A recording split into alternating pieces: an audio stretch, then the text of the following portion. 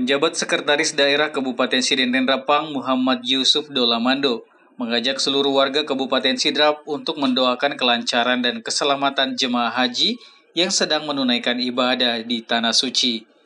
Hal ini disampaikan saat melaksanakan sholat Idul Adha di Masjid Raya Islamic Center Pangkajene, Kecamatan Mari Tengai pada Senin 17 Juni 2024. Saat ini di Tanah Suci Mekah, saudara-saudara kita sedang menunaikan ibadah haji.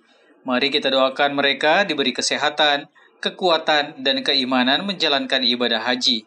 Semoga Allah senantiasa menjaga dan melindungi jemaah haji kita, hingga mereka mendapatkan haji yang mabrur, serta selamat sampai kembali ke rumah masing-masing. Yusuf Dolomando juga mengatakan Idul Adha merupakan momen untuk meneladani keteguhan iman Nabi Ibrahim, Siti Hajar, dan Ismail dalam berkurban.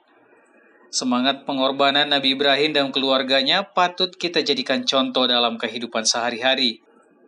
Ia pun mengajak seluruh warga untuk memaknai Idul Adha dengan meningkatkan ketakwaan dan keimanan kepada Allah Subhanahu wa taala. Mari kita jadikan momen Idul Adha ini untuk lebih mendekatkan diri kepada Allah Subhanahu wa taala dengan memperbanyak amal ibadah dan perbuatan baik. Di kesempatan yang sama, Muhammad Yusuf secara pribadi dan atas nama pemerintah Kabupaten Sidrap berterima kasih kepada segenap komponen masyarakat atas terbangunnya sinergi dan keharmonisan selama ini. Sehingga irama dan dinamika pembangunan daerah yang disertai partisipasi masyarakat dapat terus berjalan sesuai yang diharapkan.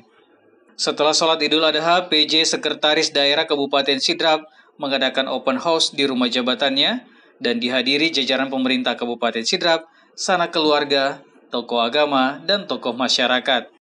Dari Pangkajene, Kecamatan Maritengai, Kabupaten Sidrap, Akbar Sutarno mengabarkan.